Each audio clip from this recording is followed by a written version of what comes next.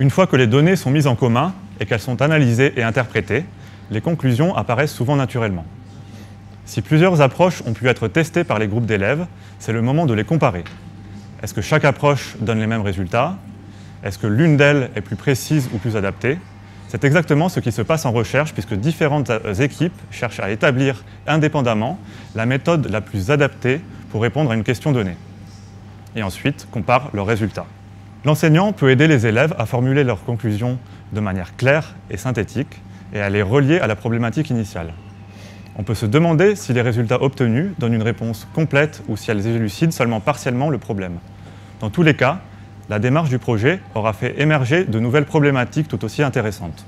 Par exemple, si l'on s'intéresse à la force qui régit les mouvements entre corps dans l'univers, c'est-à-dire la gravité, on peut imaginer un projet en plusieurs parties.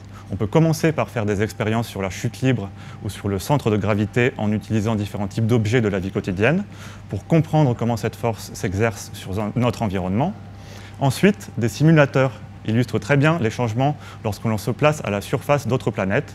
Et on peut aussi modéliser le mouvement des planètes autour du Soleil sous l'effet de la gravité en illustrant la conception d'Einstein avec un drap tendu déformé par des objets massifs.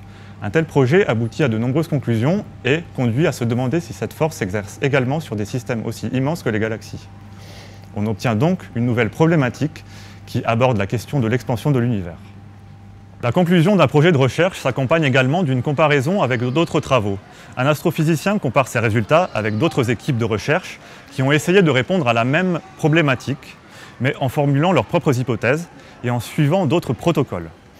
Pour les exemples que l'on a abordés, cela peut consister à comparer le nombre de tâches solaires mesurées par les enfants avec d'autres données trouvées sur Internet pour la même période de temps.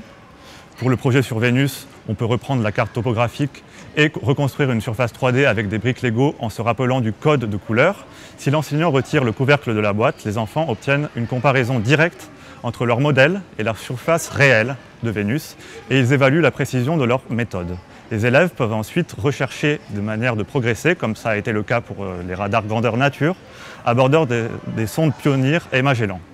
Avec la maquette, ils comprennent facilement le concept de résolution spatiale et proposent d'utiliser davantage de trous plus près les uns des autres et davantage de bâtons pour mesurer la profondeur avec plus de précision.